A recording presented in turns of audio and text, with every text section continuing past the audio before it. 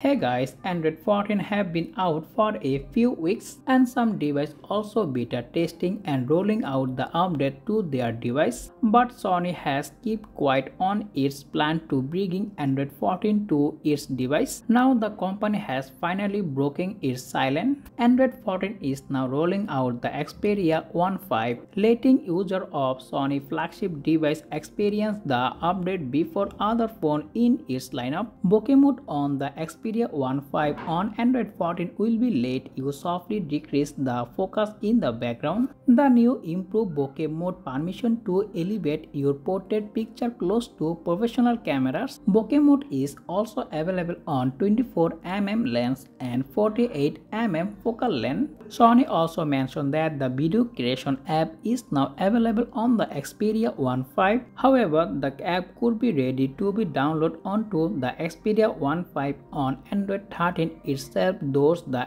Google Play Store. The Android 14 is available in UE and UK for the model number XQDQ54. Sony mentioned that rollout will be vary by country. So that's all about the Sony Xperia 1 V Android 14 upgrade news. So if you found this video informative, make sure hit the like button and also subscribe my channel for more content like this as always. Thanks for watching and I will be catching the next one. Take care. Allah Hafiz.